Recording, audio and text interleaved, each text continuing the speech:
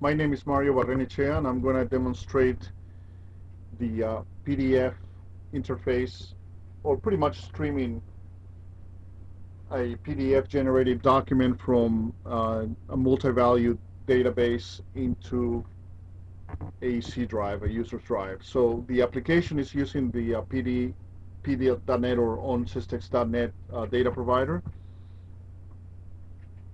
and very simple screen as you can see this is an ASP.NET form.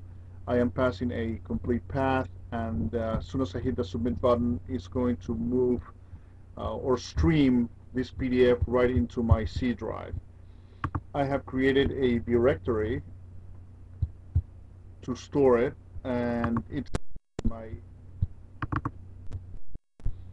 folder called repository. So as you can see it's empty. I'm going to click on submit and uh, just for demonstration purposes I'm putting on debug mode. In this case it's actually making that connection to the database. That's the IP address the port that it's listening to the account where the actual uh, program is going to be executed and the uh, user ID and authentication. Very simple using the connection object and this is the actual program that is going to get executed. Is passing you know certain parameters and this in this case the parameter will be the path where it has to retrieve that document from.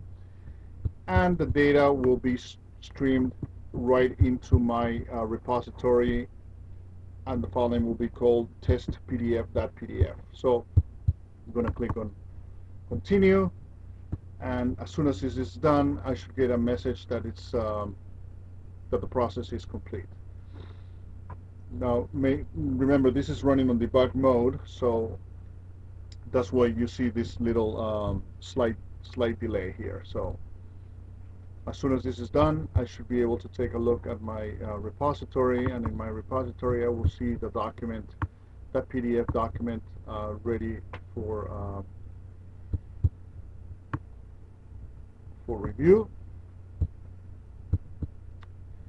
It should be done any minute. Okay, great. I got the message here, and uh, here's my PDF document. I can double click on the document, and it's about three megabytes that it came through from a uh, remote directory in my multi-value database, and here's the uh, plus PDF complete, no problem. All right. Okay, so now let's work a little bit backwards here.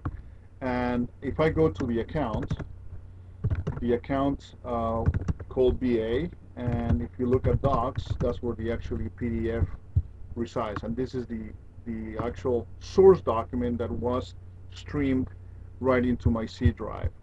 You know, a very, very simple uh, process. If I go into the uh, account, uh, I can I should be able to look at the uh, docs file I have a directory type file and then I can list it. And as you can see there is my actual PDF so assuming that the PDF is going to be generated on on your Unidata environment via the .NET product is a very very uh, simple process. And I will go now and show you the actual uh, Visual Studio.NET code that made this happen. So if we look at the um, uh, the code, you know, very simple. Uh, the connection object makes a connection to the um, database instance, and it's uh, in my case that's the IP address where it resides, and that is the uh, TCP/IP port that is listening to, and that is the name of the account that I use for this test. Uh, user ID and password will be the authentication that I use for this application and the basic program that is that is being executed is called BA get object. In your case, it will be whatever the name of your program is, but very simple. You just pass parameters, and parameters come right back. And once it gets streamed, then I am actually storing it in my C drive under the uh, in the repository folder. So uh, that's it. That's all it takes. Um, in order to to enable a PDP.NET or a Onsystex.NET account, uh, what we have to do is uh, we we call our uh, uh, tool that is called the administrator, and in the administrator we enable the account that is going to use uh, the .NET connectivity. Very simple process.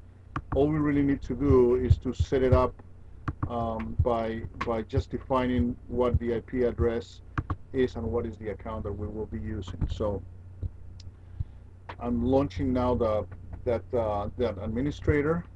I'm going to minimize some of this.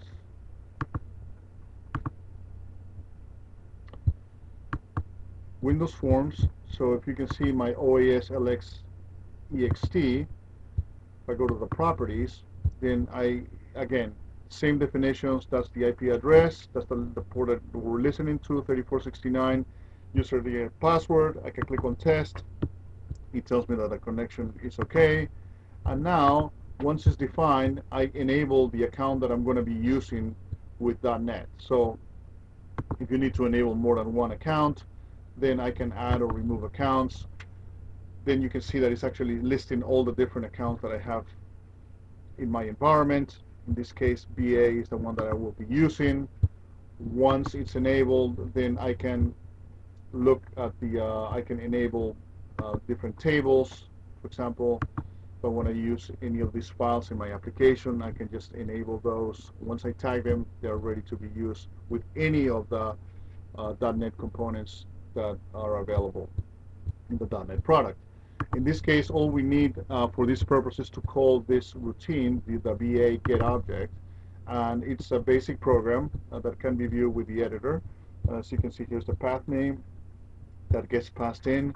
I can use any of the commands that are available in, in the in in BASIC, so I, I, can execute the command and then um, execute any OS functions that I that are, that are required to, to to make this happen, and then brings the data back as a parameter to the uh, uh, to the .NET application. So that's it. It's pretty simple, pretty straightforward, and uh, and the end result is that you can stream you know any document and they can also interact with any file uh, using any of the .NET uh, components that are available in the environment. So um, I hope you like this video and if you have any questions let me know. Uh, here's the OnSysTex uh, uh, connectivity. That's the library that, that just needs to be included uh, just to give you an idea of some of the functions that are available there's the, the, the, the, connection database. You know, you can do transactions, you can uh, create lists, create selects, get status messages, you can do replace. Um, there are a lot of functions, equivalent functions to BASIC in this environment. Uh, there are uh, ways of manipulating dynamic arrays, just as, as if you were doing it in BASIC. Uh, functions like the count, the locate, um, equivalent functions in, in BASIC are also available in the uh, on the .NET side. Uh, for example, deleting arrays, inserting arrays, and so forth. The same thing applies with anything that is related to ADO.NET. So that is all part of this uh, this product, and um, you will see that uh, all these uh, capabilities are built into into the into the uh, OnSysTex.NET product uh, dealing with the data adapter, ADO.NET, all the functionalities there. It's all documented. It's all ready to go. Uh, very easy, very simple, very straightforward, very light. Um, and it should be uh, uh very, uh, very easy for anybody to, who is very familiar with the .NET environment to use our connectivity um, tool uh, libraries. And also from um, people who are familiar with BASIC you know, the, the interface is very simple. It's only, you know, you're passing arguments and then you're returning values. Very straightforward. Um, very easy way to, to build forms or to read data, as you can see. And one thing that is very important is that anything that is related to locking, I mean, we it honors all the locking mechanisms. You can decide whether you want to use optimistic locking or pessimistic locking. All those capabilities are available in the .NET product. Well, that's. I hope you like this, and if you have any questions, please let me know. I will talk to you soon.